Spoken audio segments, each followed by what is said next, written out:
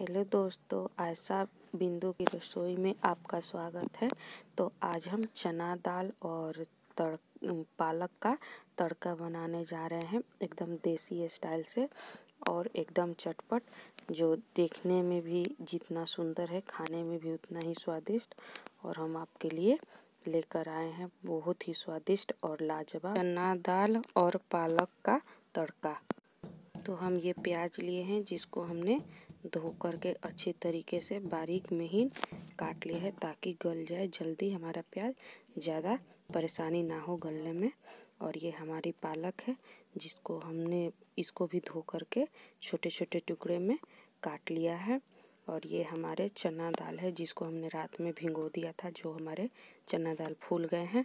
अब इसको देखिए कितने अच्छी तरीके से हमारे चना दाल ये फूल गए हैं और अच्छी तरी और ये हमारे फ़ोरन है, जिसके लिए हमने ये लाल खड़ा मिर्च लिए हैं और ये तेज़पत्ता है, ये लहसुन है, इसको हल्का हम कूट लिए हैं। हम लाल मिर्च का पाउडर नहीं डालेंगे और ये हमारे मसाले हैं, जिसमें गरम मसाला पाउडर, छोले मसाले, जीरा पाउडर, काली मिर्च पाउडर और हल्दी पाउडर हमने ये सारे मसाले पाउडर है, लिए हैं। देखिए, ये हमारी सारी सामग्री है और हम चलते हैं अब इसको बनाने के प्रोसेस में।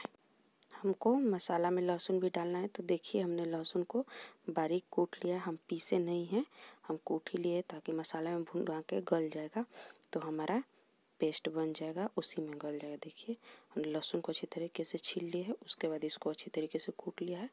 अब देखिए, एक और चीज़ मेरा छूट गया था, खड़ा गरम मसाला जो हमको डालना है, जिससे सुगंध और स्वादिष्ट दोनों बढ़ जाते हैं।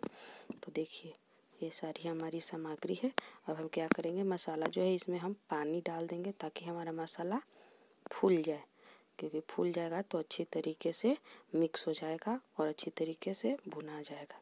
तो देखिए, ये सब हमारा सामान रेडी हो गया है और हम कुकर रख दिए हैं गैस पे और गैस का फ्लेम ऑन कर दिए है। हमारा कुकर अब गर्म हो रहा है। अब हम इसमें तेल डालेंगे। अपने क्वांटिटी के हिसाब से ना ज़्यादा ना कम एक लिमिट से आप डालिए। देखिए, ये हमारा तेल अच्छी तरीके से अब गर्म हो चुका है, तभी हम इसमें पहले अपने खाड़े गरम मसाला जो है, वो डाल देंगे, फिर तेज़पत्ता डालेंगे।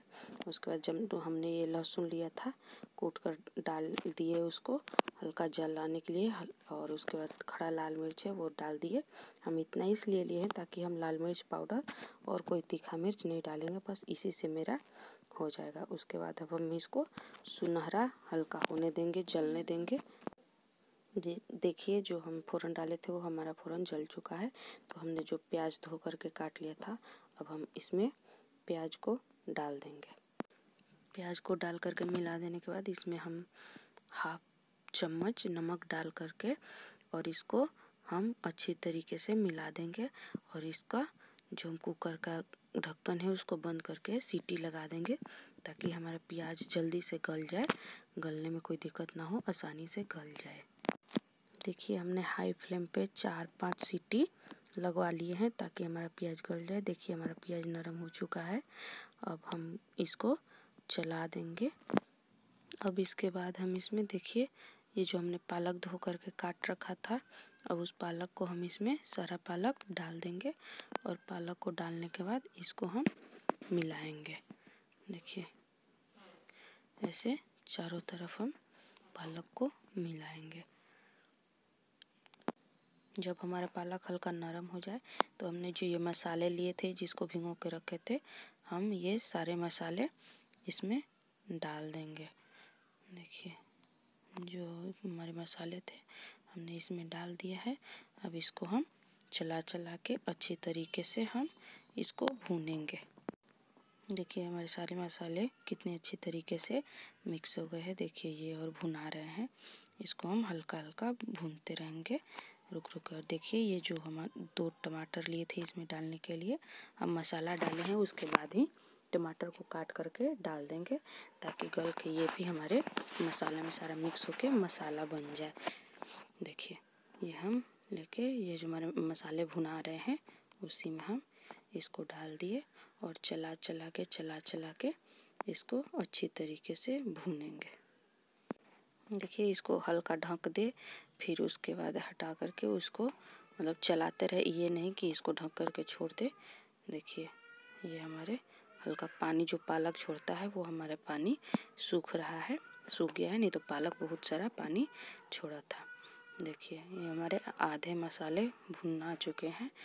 तो देखिए, कितने अच्छे तरीके से आधे हमारे मसाले पक चुके हैं तो हम आधा जब मसाला हमारा पक जाएगा तो इसमें जो हमने चना दाल भिंगा करके साइड में रखा हुआ था, देखिए उसको अब हम डाल दें, देखिए जब हमने चना दाल इसमें डाल दिया है, ऐसे धीरे धीरे इसको चला करके इनको भूंजते रहे।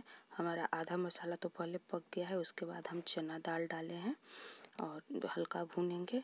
देखिए, दो मिनट तक चना दाल डालने के बाद, दो मिनट तक हम इसको भूनेंगे। देखिए, हमारे मसाले 80 परसेंट तक पक चुके हैं।